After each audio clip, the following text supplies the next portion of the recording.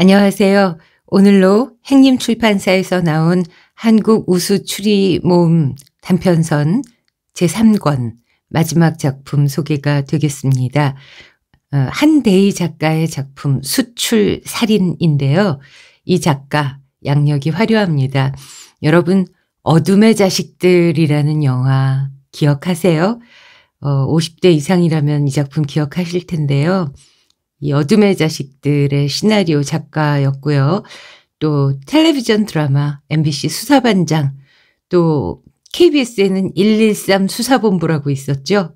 음, 그 외에도 형사, 형사기동대, 어, 뭐 엄청난 작품들의 방송 작가이면서 어, 한국 추리작가협회였던 분입니다. 네, 한대희 작가의 수출 살인 낭독해 드리겠습니다.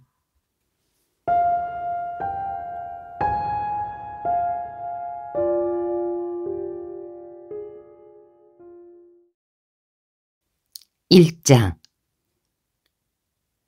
나는 완전 범죄를 했다. 1. 범행의 단서가 될 만한 물건이나 사실을 남기지 않고 교묘하게 수사망을 피한 범죄. 2. 언뜻 보기에는 불가능한 것 같이 보이지만 논리적으로 완전히 가능한 범죄.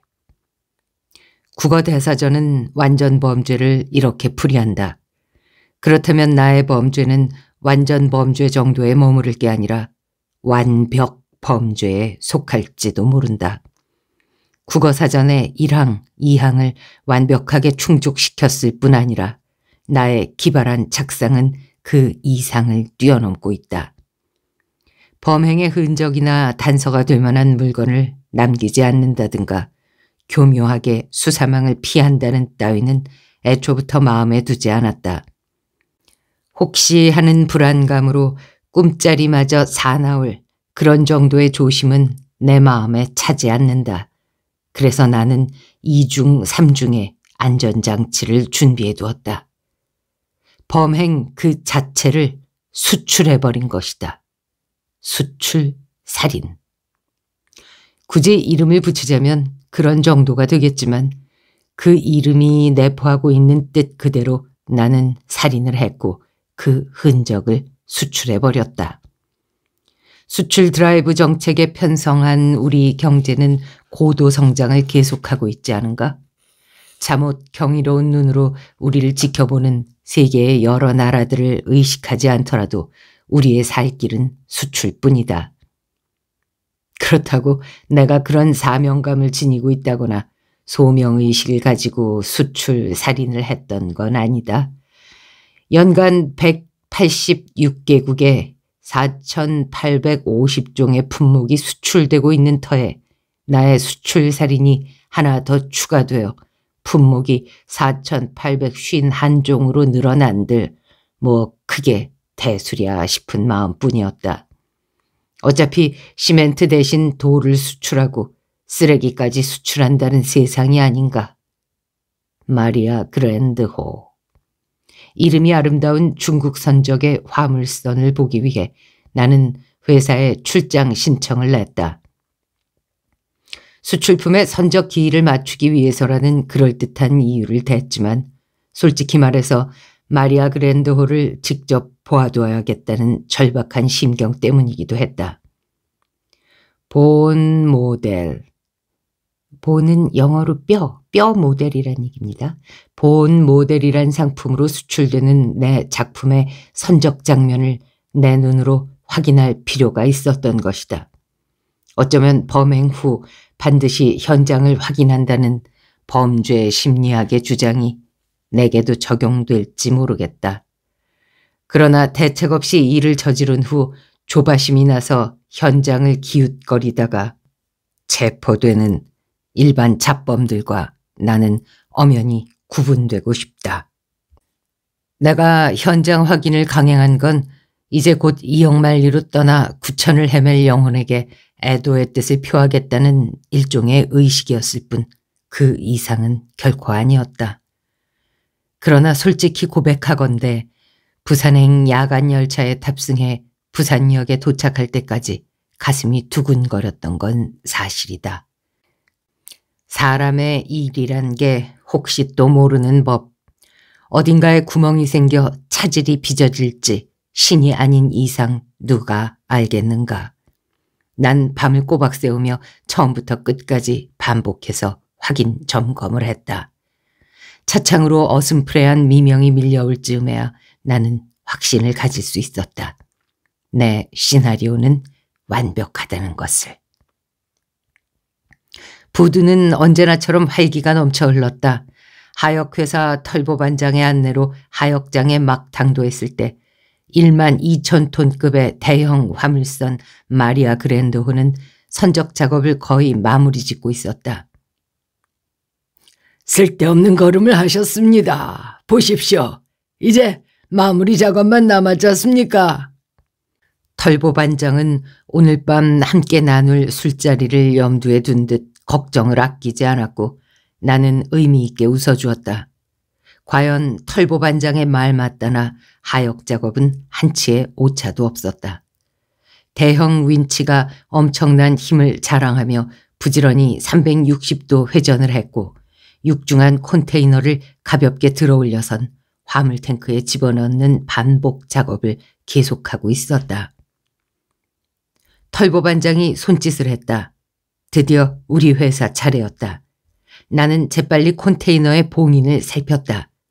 봉인은 조금도 훼손되지 않은 채 통관대 붙인 그대로 얌전하게 붙어 있었다. 이상이 없다. 난 저기 안도하며 윈치에 매달려 올라가는 컨테이너와 작별을 나누었다. 잘 가거라. 나의 입가로 회심의 미소가 번졌다. 한나절이 채 지났을까. 하역장에 그득 쌓였던 컨테이너를 몽땅 삼킨 마리아 그랜도흐는 이제 출항 준비로 부산해지기 시작했다. 햇빛에 반사되어 은빛을 토해내는 마리아 그랜드호의 장관은 잠옷 감동스럽기까지 했다. 파일럿의 안내를 받으며 항구를 빠져나간 마리아 그랜드호가 까만 점이 되어 수평선 너머로 사라질 때까지 나는 감회 어린 시선으로 지켜보았다. 이제 모든 건 끝났다. 나의 범죄는 완벽하게 성공한 것이다. 난 터질 것 같은 웃음을 참느라 한참 동안 어깨를 추스려야 했다. 2장 내가 완전 범죄에 관심을 가지게 된 건 혜수의 약혼 소식을 들은 후부터였다. 혜수의 약혼은 나에게 엄청난 충격을 던져주었고 기나긴 겨울밤 몇 날 며칠을 나는 하얗게 세워야 했다. 그 며칠 동안 혜수는 나의 상념 속에서 수없이 난도질 당했다. 죽였다간 살리고 살려내어선 또 죽였다. 그렇다고 나의 울분이 풀릴 리 만무한데도 그 무모한 반복 작업을 포기할 듯이 내겐 조금도 없었고 결국 지쳐버린 건 나 자신이었다. 유난히 추웠던 그의 겨울을 나는 타는 듯한 갈증을 느끼며 오독하니 혼자서 떨어야 했다. 나의 메모철에는 해수의 이름 석자가 무수히 나뒹굴었고 낙서가 쌓이면 쌓이는 만큼 반비례하여 나의 갈증은 돌을 더해갔다. 제풀에 지친 나는 해수를 수없이 포기해 보았고 또 견딜 수 없는 외로움으로 열병을 알아야만 했다. 날 보내줘. 혜수는 내게 애원을 했었다.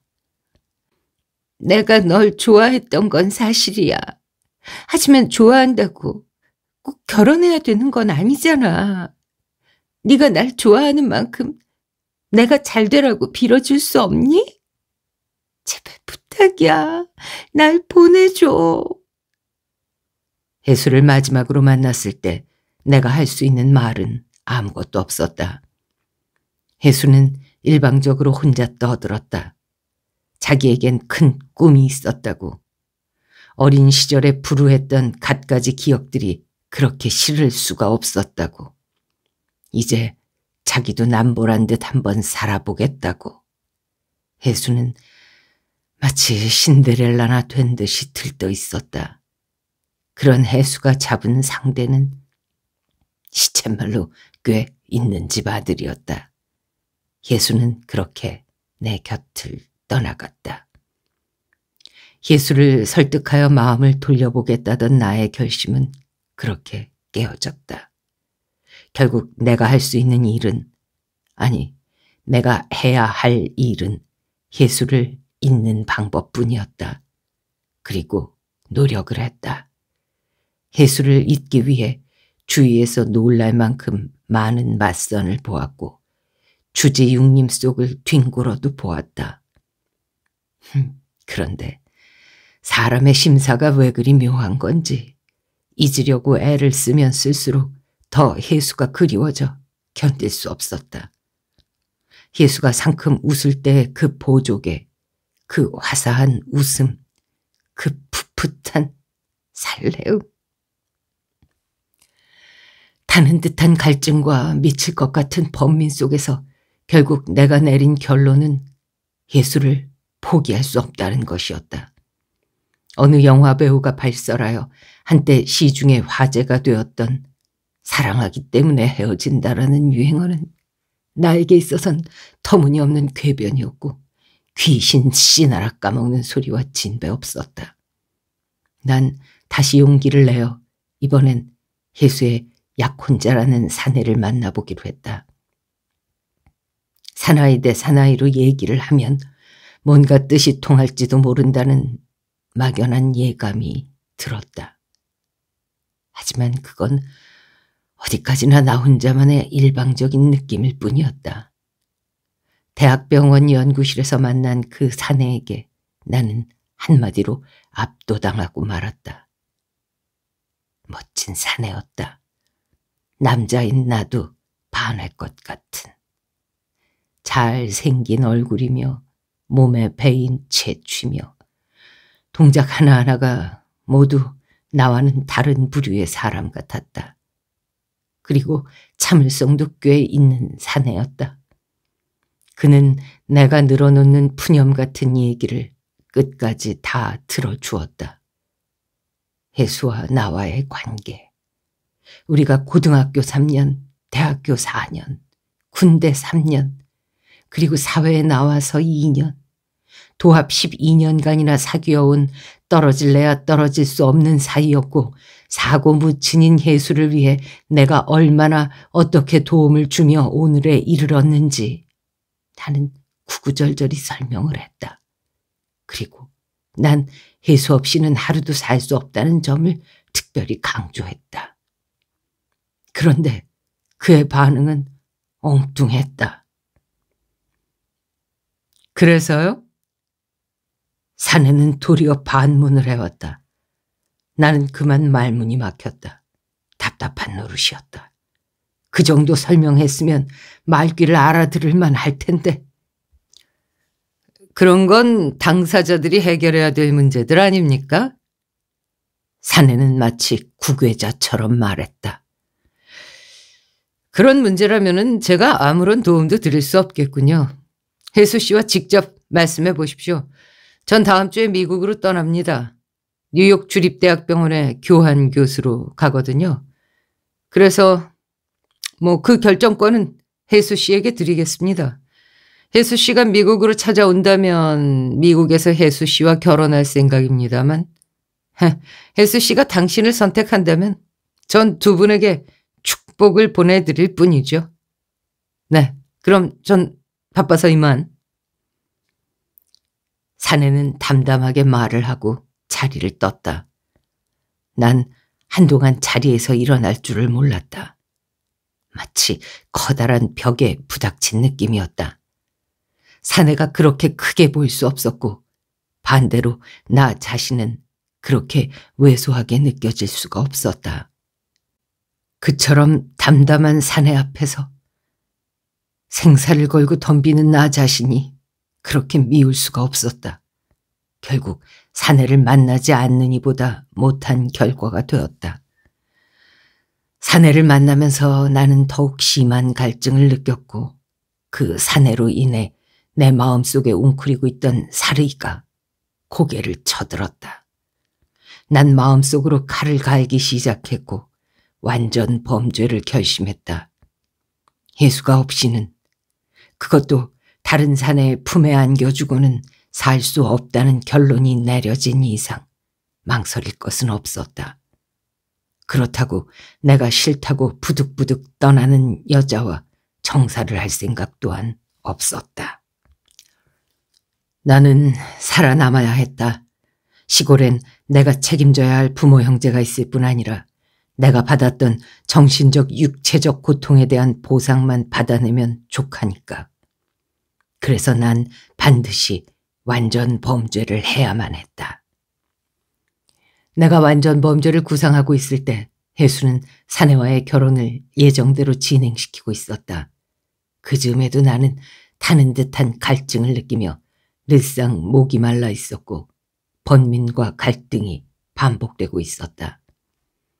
그러나 혜수의 미국행이 확정된 순간 나의 사리도 굳어졌다. 사내는 벌써 미국으로 날아갔고 혜수는 넉 달 후에 뒤따라가도록 예정되어 있었다.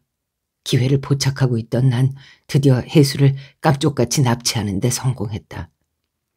혜수를 감금한 나는 마지막으로 한 번 더 설득을 했다. 혜수는 코웃음을 쳤다. 처음엔 내가 장난을 치는 정도로 생각한 모양이었다.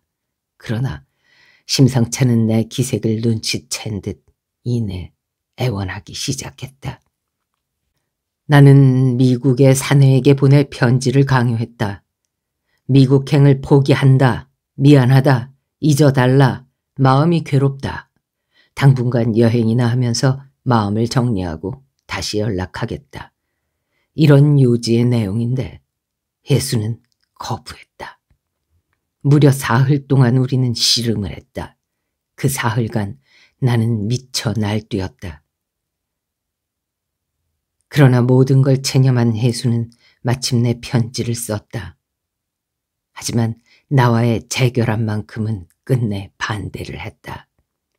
결국 난 내 계획을 행동으로 옮기고 말았다.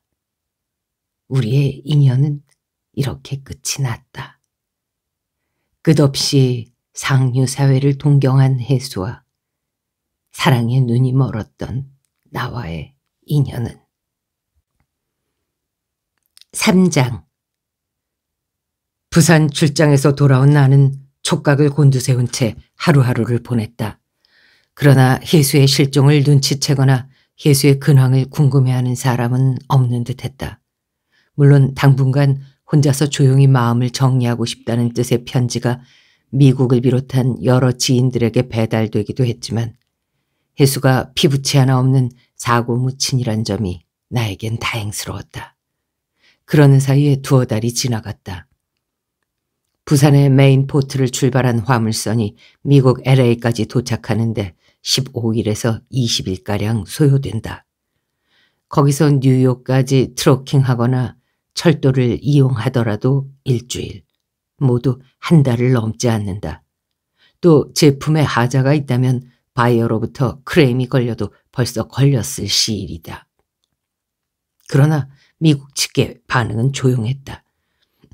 도둑이 제발 저린다고 내 쪽에서 미국으로 전화를 넣어보았다. 그리고 넌지시 떠보았다. 수출품의 품질을. Excellent! 그쪽의 대답은 한마디로 오케이였다. 그렇다면 내가 수출한 bone 모델은 벌써 실수요자의 손에 들어가 있다는 얘기다. 짐작컨대 혜수는 지금쯤 어느 병원의 연구실에 서 있거나 의과대학 강단에서 모델 노릇을 하고 있을지도 모른다. 혜수의 몸 구석구석을 살피면서 진지하게 인체 해부학 강의를 듣고 있을 미국 학생들의 모습이 떠올라 나는 얼핏 웃고 말았다.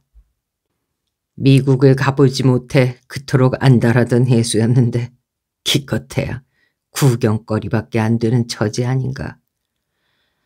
한편으론 그런 혜수가 딱한 느낌도 들었다. 그러나 어쩔 텐가. 버스는 이미 정거장을 떠난 것을. 어쨌든 모든 일이 순조로웠다. 그렇게 또 8개월이 훌쩍 지나갔다. 해수를 떠나보낸 지 근 1년여가 되는 셈이다. 이제 나는 해수를 까맣게 잊어가고 있었다. 가끔씩 나의 꿈자리를 어지럽히던 해수도 최근엔 통 나타나지 않았다. 바쁜 업무가 날 더 이상 한가하게 버려두지 않은 탓도 있었다. 나에게는 큼직한 행운들도 잇따랐다. 내가 몸담고 있는 의료기구 수출회사가 삼저 호황의 특수한 붐을 타고 사세가 껑충 뛴 것이다. 회사 기구를 확대 개편하면서 나는 영업부 기장에서 무역부 과장으로 한 계단 승진을 했다. 게다가 되는 년은 앉아도 요강 뚜껑에 앉는다고 나에게 그럴싸한 규숙감이 생겨서 요즘 데이트에 열을 올리는 중이다. 나를 이쁘게 본 회사 중역의 소개로 맞선을 보았는데 나는 그녀에게 흠뻑 빠져버렸다. 꽝 대신 닭이라는 기분으로 만나기 시작했는데 찬찬히 뜯어보니 그 아가씨야말로 꽝이었다. 더욱이 그녀의 집안 배경 역시 빠뜨릴 수 없었다. 세층 있는 집이었다. 있는 집 아들을 잡기 위해 혈안이 됐던 혜수처럼 나도 있는 집 딸과 사귀게 되었다. 꿈 같은 하루하루가 흘러갔다. 눈코 뜰 새 없이 분주하면서도 보람있고 즐거운 나날이었다. 그러던 어느 날 김석기라고 합니다. 사내가 내놓는 명함에서 경찰대학 지도실장 경정 김석기라는 고딕체 글자가 한눈에 들어왔다. 경찰? 불길한 예감이 선뜻 뇌리를 스쳤다. 그리고 까맣게 잊고 있었던 기억들이 하나둘 되살아났다. 무슨 일이신지? 응접실로 안내하여 녹차를 대접하면서 나는 다짜고짜 용건을 물었다. 바쁘신 모양인데 죄송합니다. 분주하게 돌아가는 회사 분위기가 마음에 걸리는 듯 김석기는 한참 만에 입을 열었다. 경찰대학에서 학생들을 지도하고 있습니다. 그런데 학생들이 가끔씩 엉뚱한 질문들을 해댑니다. 아주 난처할 때가 많아요. 고도의 전문 지식을 요하는 질문 말이죠. 그렇다고 제가 전문가도 아니고. 어, 무슨 내용이신지요? 나는 저기 안도했다. 상대가 경찰이라 캥기긴 했지만 수사경찰관이 아니라 학생들을 지도하는 경찰이라니 일단 마음은 놓였다. 그 뭡니까? 사람 해골이지 않습니까? 해골이요? 나는 속이 뜨끔해졌다. 그 외 인체 해부학 시간에 가르치는 인조뼈 모델, 본 모델이라 그러든가? 인체 구조 말입니다. 아, 네, 본 모델이요. 우리말로 하면은 인체 골격이나 인체 골격계라고 하죠. 저희들이 상품 용어로 본 모델이라고 합니다. 아하! 김석기는 수긍이 간다는 듯 머리를 끄덕였다. 본 모델이 필요하십니까? 아니요, 몇 가지 알기만 하면 됩니다. 그 본 모델이라는 게 성분이 뭔가요? 음, 특수 플라스틱과 석회질로 구성되어 있죠. 그럼 진짜 사람 뼈하고 비교하면 어떨까요? 똑같습니다. 빛깔도요? 네. 전문가가 보더라도 한눈에 식별하긴 쉽지 않을 겁니다. 실물하고 아주 흡사해요. 예를 들자면 뼈에도 신경이 있어요. 그 미세한 신경 구멍까지 똑같이 만들어내거든요.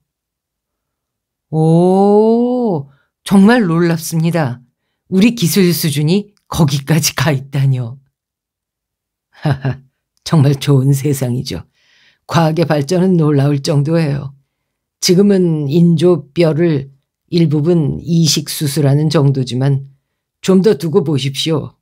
몸속의 뼈를 아예 갈아치울 수 있는 시대가 올지도 모른다는 겁니다. 오, 오늘날 이 지구상에서 천연두가 멸종됐듯이 미래 사회에서는요, 다리 불구나 척추 불구 같은 장애자들이 구제받을 수도 있다, 이런 얘기입니다. 이야, 그러니까 인조뼈를 사람 몸속에 이식할 수 있다는 얘기입니까? 물론이죠. 교통사고가 나면 뼈가 으스러지는 경우가 태반인데요. 그때는 인조뼈로 대체해야죠.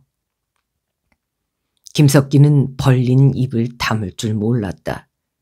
현대 과학의 신기에 감탄을 금치 못하는 모양이었다. 그는 한참 만에 다시 입을 열었다. 저희들이 어릴 땐 모조뼈는 엄두도 내지 못했고 실물을 놓고서 공부를 했던 것 같은데 요즘은 어떻습니까? 실물은 귀하겠죠? 그럼요. 우리나라처럼 유교 사상이 뿌리 박힌 데서 누가 죽은 송장인들 선뜻 내놓겠습니까? 경찰에 계시니까 잘 아시겠지만 망자에 대한 예의가 아니라면서 부검도 잘 못하게 한다지 않습니까? 의학을 전공하는 학생들이나 의사들은 실물을 더 좋아한다는 것 같던데 말이에요. 그럴지도 모르죠. 하지만 실물을 어디서 구할 수 있겠습니까? 그렇군요. 머리를 끄덕이던 김석기가 자리에서 일어났다. 여러 가지로 고마웠습니다. 별 말씀을. 나는 김석기를 사무실 문 앞까지 배웅했다. 자리에 돌아온 나는 머릿속을 정리해 보았다. 둘의 대화에서 이상한 부분은 없었다. 그리고 김석기를 통해서도 특별한 느낌이나 낌새를 알아차리지 못했다. 그는 수사경찰도 아니었고 젊은 나이에 꽤 높은 자리에 올라가 있는 친구로구나 하는 느낌 외에는 별다른 게 없었다. 단지 그것뿐이었다. 그런데 내 마음은 편치 못했고 불길한 예감마저 들었다. 왠지 입맛이 썼다. 사장 이상한 일이 생기기 시작했다. 누군가가 나의 집을 뒤진 흔적이 보인 것이다. 그것도 하루 이틀이 아니고 한 달 내내 계속되었다. 그렇다고 집안이 뒤죽박죽 돼 있는 건 아니었다. 그 자리에 있어야 할 물건들이 조금씩 자리를 이동해 있는 것이다. 그렇다면 틀림없이 누군가가 나 모르게 내 집을 수색하고 있다는 얘기다. 나는 원래 결벽증이 있어서 남이 내 물건에 손대는 건 딱 질색이었다. 내가 한 번 옮긴 물건은 내가 손대기 전에는 영원히 그 자리에 있어야만 했다. 예수도 내 그 불문율만큼은 곧잘 지켰었다. 그런데 이건 보통 문제가 아니다. 혹시 경찰이 냄새를 맡은 걸까? 그런 생각을 하니 머리털이 곤두섰다. 난 내 짐작이 틀리길 간절히 바라며 실험을 해보았다. 출근하기 전에 벽장이며 세면실이며 부엌문이며 책상 서랍이며 문이란 문은 모두 그 틈새에 머리카락을 붙여놓았다. 첫날은 무사히 넘어갔다. 나는 안도했다. 그런데 둘째 날 머리카락이 하나도 붙어 있질 않았다. 셋째 날도 마찬가지였다. 틀림없이 가택 침입의 흔적이다. 나는 모골이 송연해졌다. 어떤 놈일까? 혹시 경찰일까?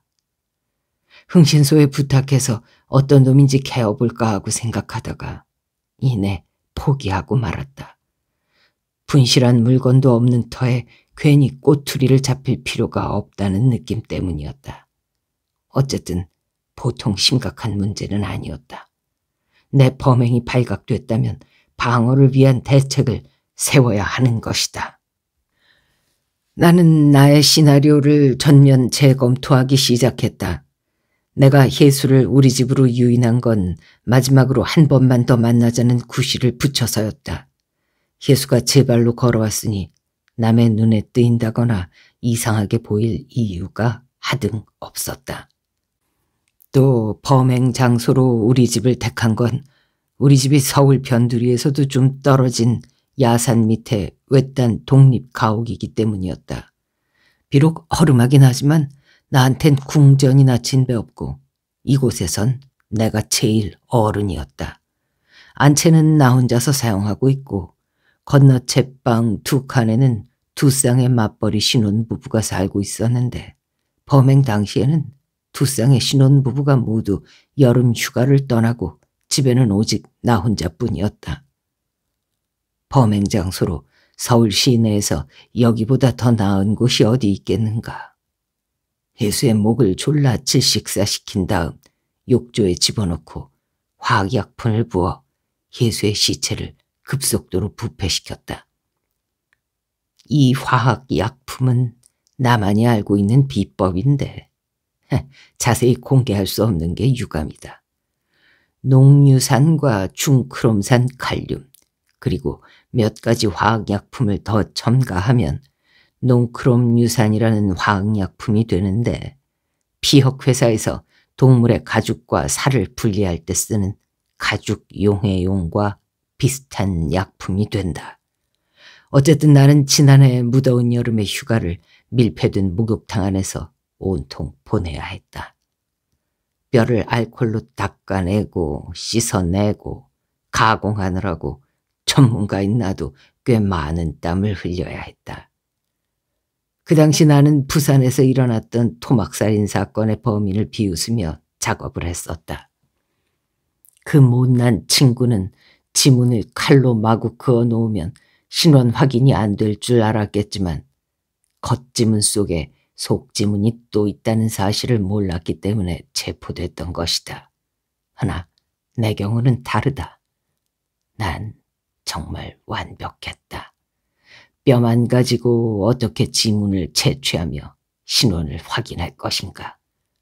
난 분해한 뼈를 가방 속에 넣어 회사로 들고 가서 내가 숙직하는 날 밤에 간단하게 조립해 통관 직전에 수출품들 속에 끼워 넣었다.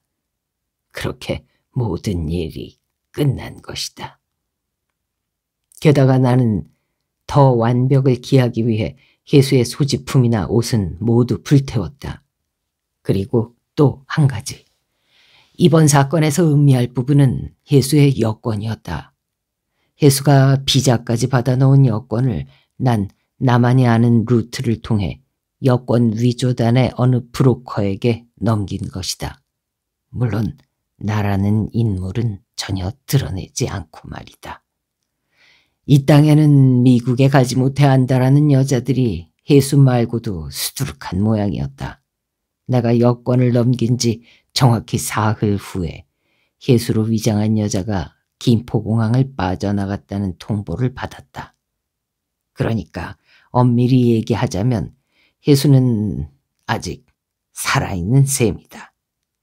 그리고 미국의 어느 거리를 활보하고 있을 것이다. 비록 대리인이지만.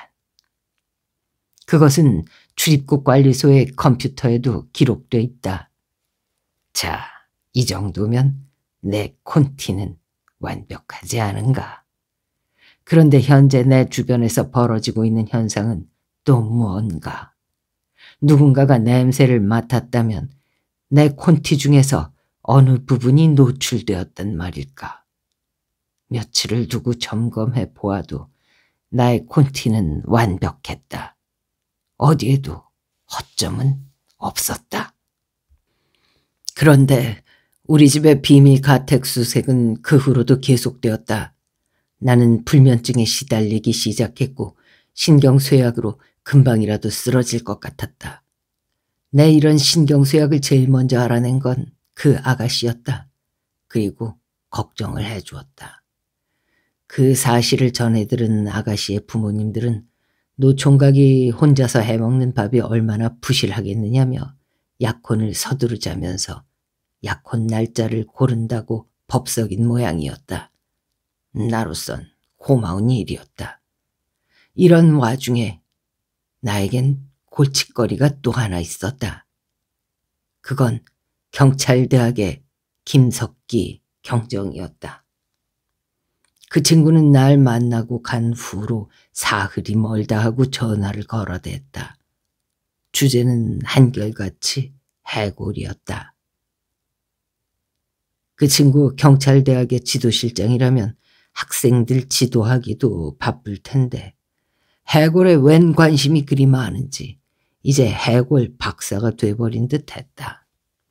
그것도 처음 통화 때는 듣기 편하게 내가 가르쳐준 용어로 본 모델이 어떻고 인체 골격이 뭐 어떻고 했사더니 어느새 용어는 다 까먹고 해골 해골 해대며 노골적으로 해골을 뇌거리는 통에 이제 내 골이 아플 지경이었다.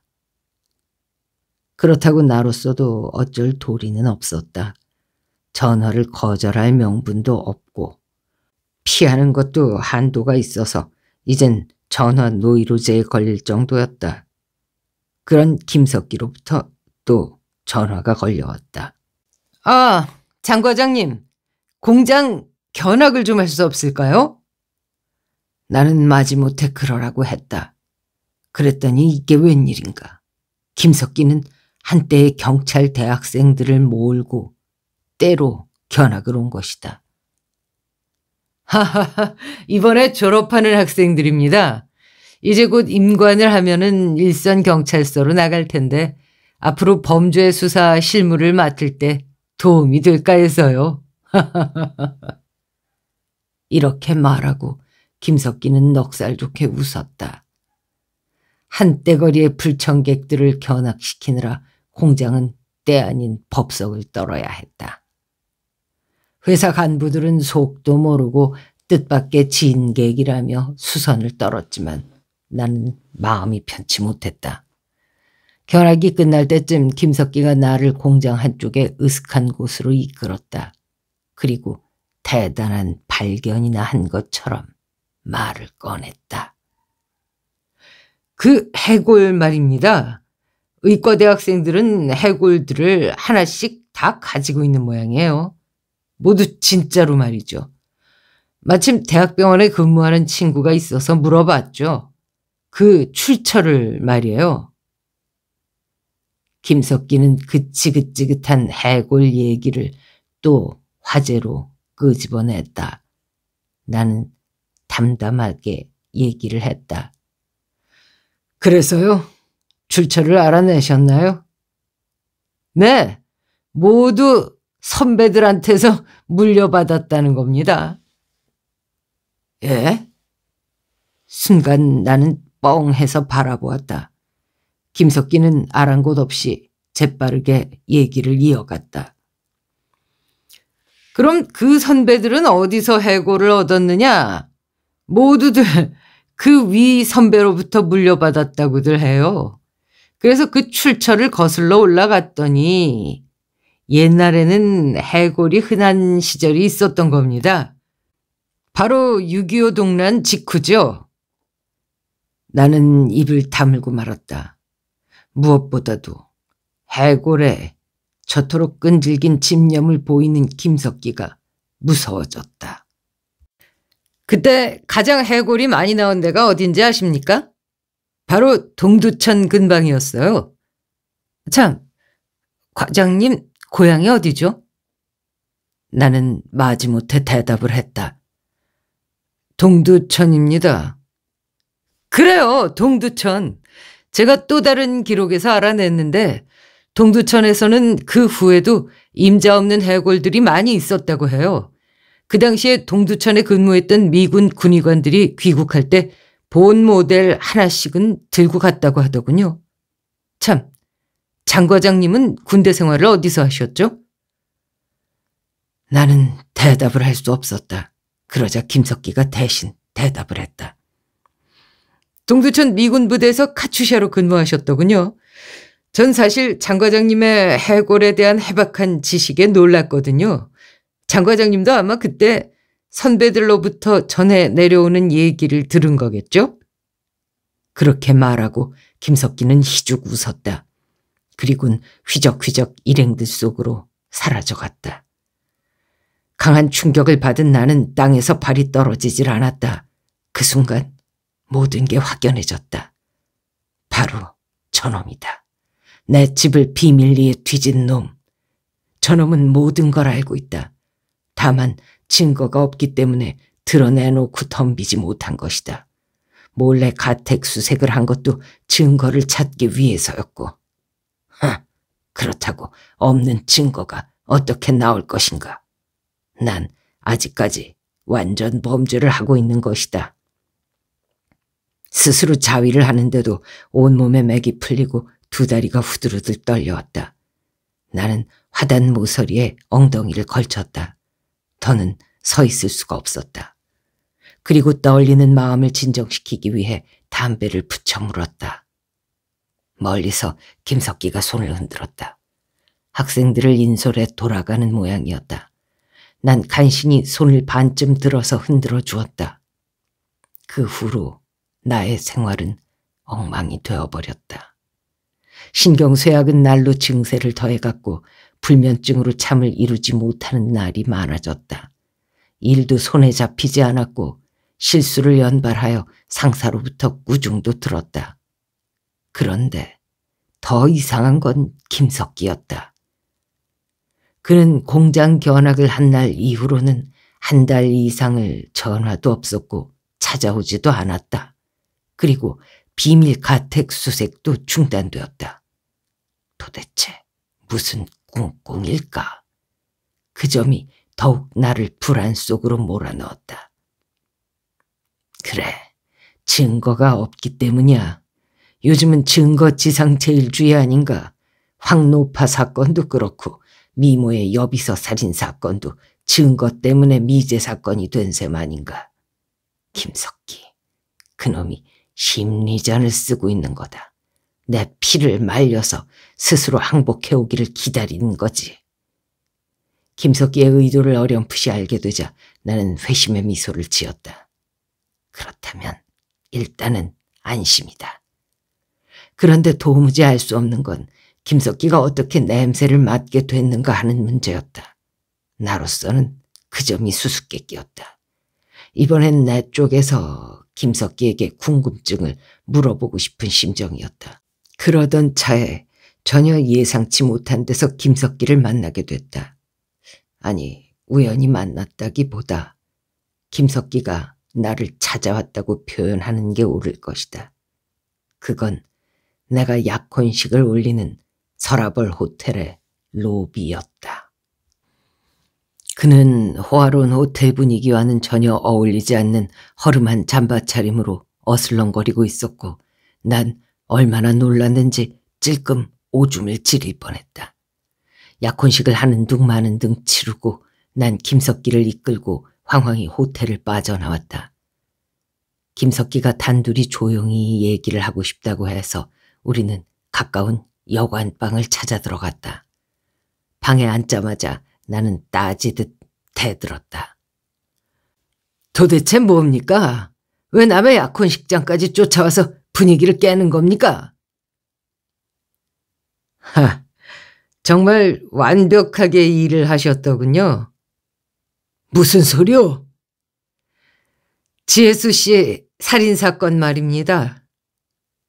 나는 숨을 훅 삼켰다. 김석기는 노골적으로 본론을 끄집어냈다. 솔직히 말씀드리죠. 몇 달 전에 미국으로 유학을 가 있는 후배로부터 커다란 소포 뭉치가 하나 배달돼 왔습니다.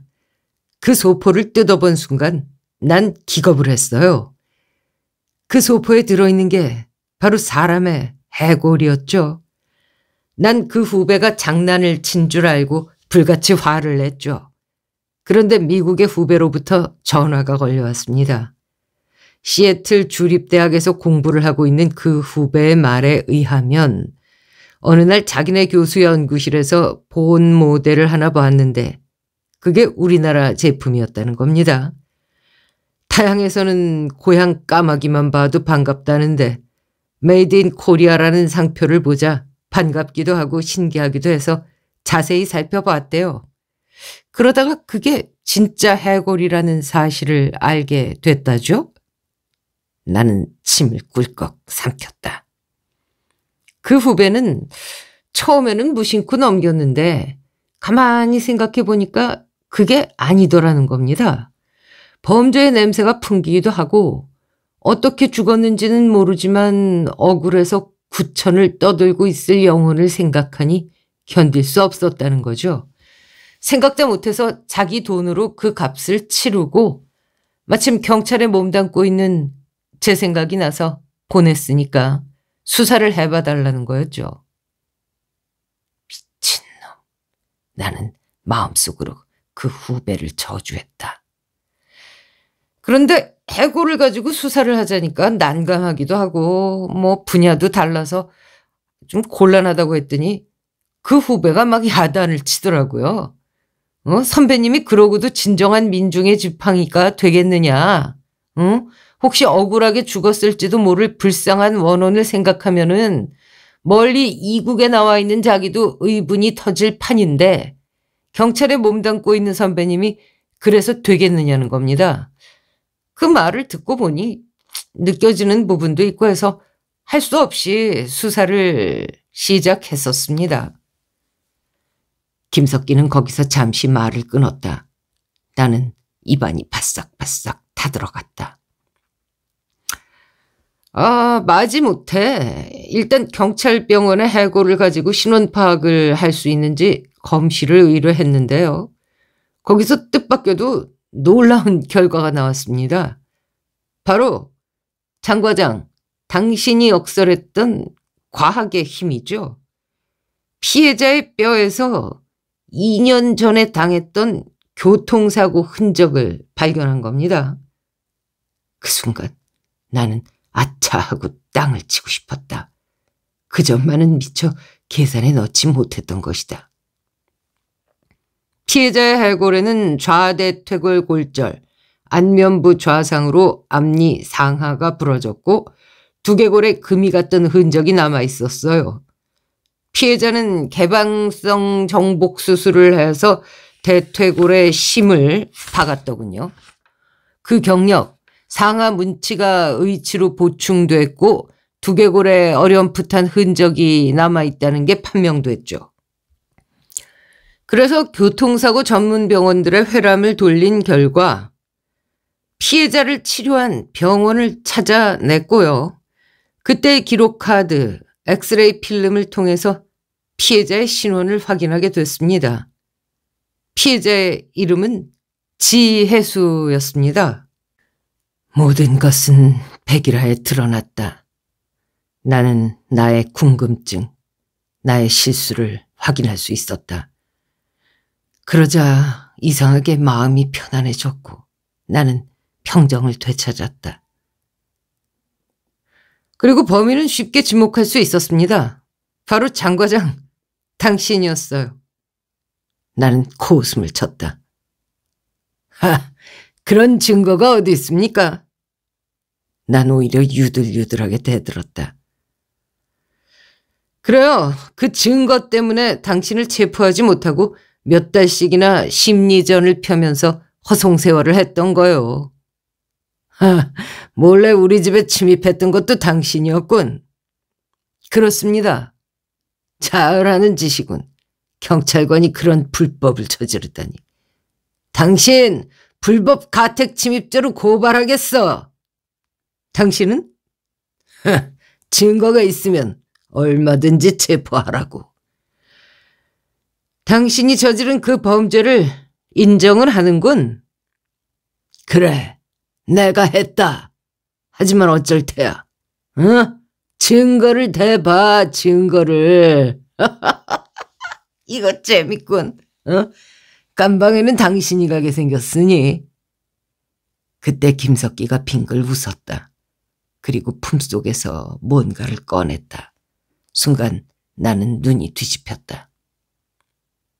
천만에 간방에는 당신이 가게 될 거요. 나는 가택 수색영장을 소지하고 있었어요. 다만 당신이 보는 데서 집행하지 않았을 뿐이요. 음, 뭐야? 그리고 방금 당신 입으로 말한 그게 증거요. 이 소형 녹음기에 우리가 한 대화가 모두 녹음돼 있으니까. 그리고 또 일러두지만 그동안 당신하고 전화로 나눈 해골에 대한 얘기도 모두 녹음돼 있고 지금쯤 치안본부 특별수사대가 당신 집을 덮치고 있을 거요. 당신이 화학 지식을 자랑스럽게 얼핏 얘기했었지? 전화로 말이요. 농크롬산이라는 화학약품을 아마 당신 집 어딘가에서 그 흔적은 찾아내게 될 거요.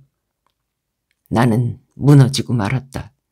완전 범죄를 그렇게 자신했었는데 꿈에도 생각 못했던 상황이었다. 난 하듯 외쳤다. 다, 당신, 당신이 형사야 뭐야? 어? 수사경찰도 아니면서. 내가 말을 채 끝내기도 전에 방문이 열리면서 정복 경찰관이 들어왔다. 김석기가 끌려나가는 내 뒤통수에다 대고 말을 했다. 내가 만약 경찰 제복을 입지 않았더라도 국민의 한 사람으로서 당신을 기어코 찾아냈을 거요. 5장 나는 독방에 감금되었다. 쇠창살 너머로 유난히 푸르고 높은 가을 하늘이 보인다. 하얀 구름이 평화롭게 보였다. 내 변호사는 내 목숨을 구하기 위해 많은 노력을 했다. 정신분열 초기 증세, 신경쇠약, 노이로제, 결벽증, 소심증, 편집증. 정신과 의사의 소견서를 첨부해서 나를 금치산자로 규정할 걸 청원했지만 재판정에서 받아들여지질 않았다. 사상 초유의 끔찍한 범죄를 저질러 스스로 인간이기를 포기한 피고에게 극형을 내린다는 것이 판결문의 요지였다. 난 사형이 확정되어 그 집행을 기다리는 사형수다. 지금 와서 한 가지 불만스러운 건 변호사가 날 정신병 환자 취급했다는 점이다. 내가 정신분열 증세를 보인다니 그건 말도 안 되는 소리다. 난 지금 감기 증세를 보이고 있을 뿐이다. 아직 초가을인데도 감방안은 무척 쌀쌀하다. 시멘트 바닥이라서 그런 건지.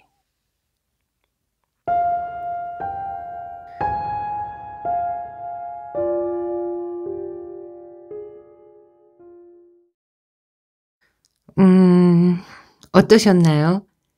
솔직히 저는 어둠의 자식들이라는 작품을 직접 보지는 못했습니다. 혹은 보고서도 너무 오래돼서 잊어버렸는지도 모르죠. 하지만 그 명성은 기억을 하고 있거든요. 그리고 뭐 MBC 수사반장, KBS 113 수사본부는 당연히 제가 아주 좋아하던 프로그램들이었죠. 그런 작품에 글을 썼던 분이라니 역시 좀 다르다 싶었어요. 어, 딱 그 내용만 두, 두고 보면은 에이 하실 수도 있겠지만 이게 1980년대에 쓰여진 소설이라는 점을 감안해서 들어봐 주셨으면 합니다. 어, 그런 시대적 배경을 생각하고 읽으면요. 와, 괜찮은데? 혹은 더 나아가서 굉장한데?까지 가지 않나 싶습니다. 네, 근데 정말 잔인한 수법이네요. 으, 끔찍하다는 생각이 드는데요. 네, 여러분은 어떤 생각이셨는지 댓글 주시고요. 또 당분간은 예, 한국 우수 추리 단편 모음집과는 작별을 해야 되겠네요. 또 어, 마지막 권 4권도 곧 구해보도록 하겠습니다. 아무튼 좋아요, 댓글 부탁드리고요. 끝까지 함께 해 주셔서 감사합니다. 여러분 사랑합니다.